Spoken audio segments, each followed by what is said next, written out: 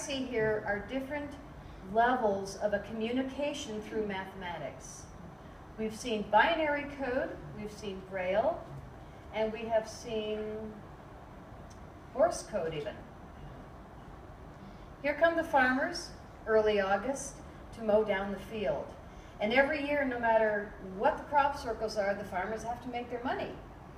So they go and they mow out the field, and some of the smarter farmers have actually made crop circle bread and crop circle beer. So yeah, pretty cool. From the ground, you can see very different than from the air. There's your pie.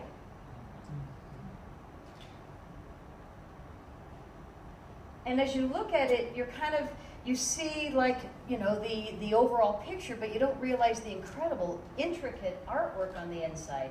So these two, interestingly enough, were across the road from each other, looking similar, and when you put them on top of each other, some people considered it the Shroud of Turin. Hmm. Thanks for the watermark. Pretty cool, huh?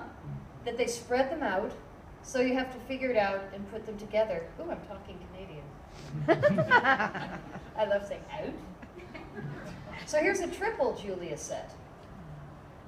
And that Julia set, a single of the two, we saw at Stonehenge. And what I was needing to tell you was that a pilot with a scientist flew across Stonehenge to do some exploring, mathematics, photos, and uh, the field was empty. And the pilot knows his course. He goes out, he comes back the same course. Within 20 minutes, they finished their work, turned around and came back, and the Julia set, a single of those that we saw in the picture at Stonehenge, was in the field. Huge, acres. I had a friend, Patricia Cori, that went and took her group because they were at Stonehenge and they heard there was a crop circle, and you can imagine thousands of people running across the road to get into this crop circle. And she said she and her group sat in one of the circles and started to laugh.